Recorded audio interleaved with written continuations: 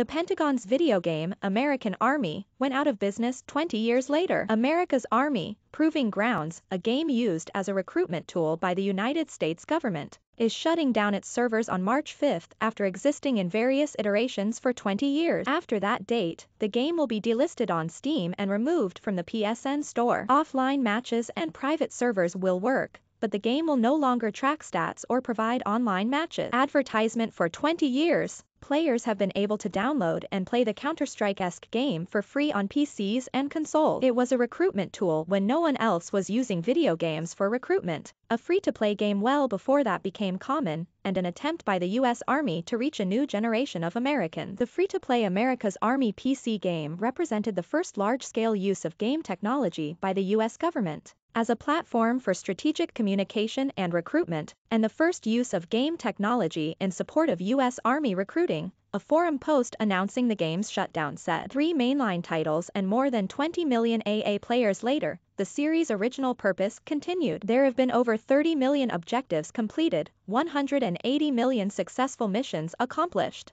250 million teammates assisted, and many more in-game achievements attained in AAPG alone. In 1999, after a recruiting shortfall in the U.S. Army, Colonel Casey Wardynski had an idea. Kids were playing video games all the damn time. Why not meet them where they were and design a video game that reflected American military values? Developed internally by the Army, America's Army launched three years later in 2002. Advertisement It was a wild success. After flagging throughout the 1990s, enthusiasm for the American military skyrocketed after September 11. Wardynski's video game hit the market at just the right time to capture that enthusiasm. It was a first-person shooter similar to Counter-Strike or Rainbow Six, with some additional rules that reflected military culture. Team killers, for example, were sent to the brig. Most importantly, it was free. For a brief period, Wardynski was all over mainstream news. It's designed to give them an inside view on the very fundamentals of being a soldier. And it's also designed to give them a sense of self-efficacy, that they can do it.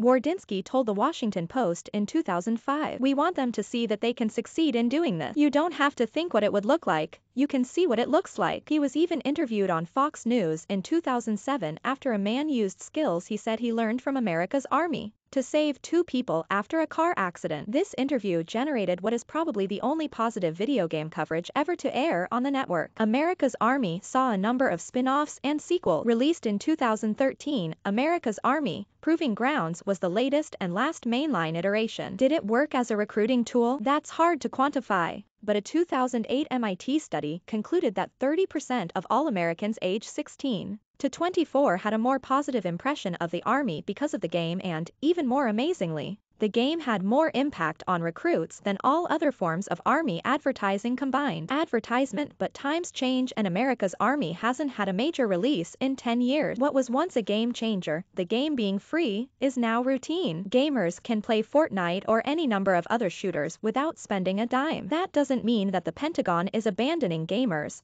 just that it's changed its tactic. The U.S. Army, Navy, National Guard, and Air Force have all launched their own esports teams in the past few years. The teams are full of active duty soldiers and sailors who answer questions about life in the service while shooting people in Valorant and Call of Duty. The goal is for viewers to develop parasocial relationships with service members and think about joining us as a career choice. Once they're of age, the Twitch recruitment drive has been fraught. A Navy streamer played Among Us with close friends who referenced the atomic bombings of Japan and a racial slur. During an official Navy stream, a National Guard streamer repeated a white nationalist slogan during an official stream. Representative Alexandria Ocasio-Cortez attempted to pass legislation banning the use of Twitch for recruitment. During these controversies, people kept playing America's Army. The player base had dwindled, but a dedicated group of a few thousand kept the servers alive. The official YouTube page uploaded a clip of the month regularly, but each video only gained around 1,000 views. Rumors of a new version of the game were seemingly confirmed in 2018, but no news followed. Now, it seems, the Pentagon's early foray into gaming is ending with a whimper. The idea that video games could prepare recruits for war is ludicrous and disgusting on its face. But that was never quite the point of America's Army. The games were shooters, yes, but they weren't meant as training tool. The video games were about building a relationship between players and the military as early as possible. It was about raising brand awareness and making the military seem just enticing enough to be an option in the future. It was about making the military a part of everyday life for 20 years while the war on terror was at its height. That strategy worked. Now, after the disastrous end of the war in Afghanistan, the militarization of police, and 20 years of endless war, support of the military is waning. ITLL take more than a free video game and some personable personnel streaming on Twitch to turn that around.